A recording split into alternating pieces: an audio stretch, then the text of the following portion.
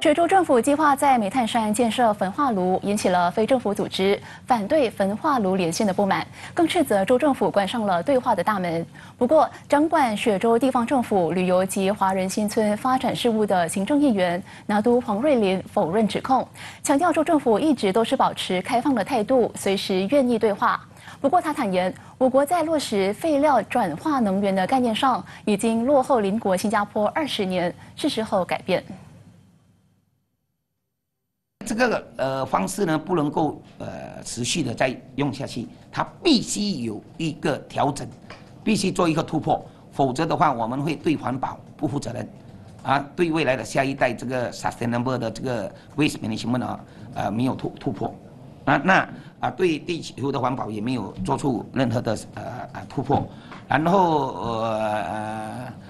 方式也没有改变，所以我们现在必须改变方式和思维。我们要用更先呃这个先进的方式来处理这个呃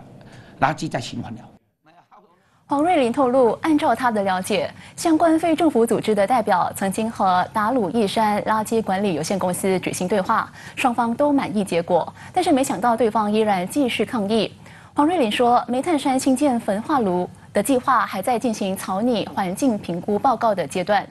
水州政府有意在万挠方圆十五公里的范围设立两座垃圾焚化炉，引起了当地民众和一些民间团体的不满，甚至发动示威行动。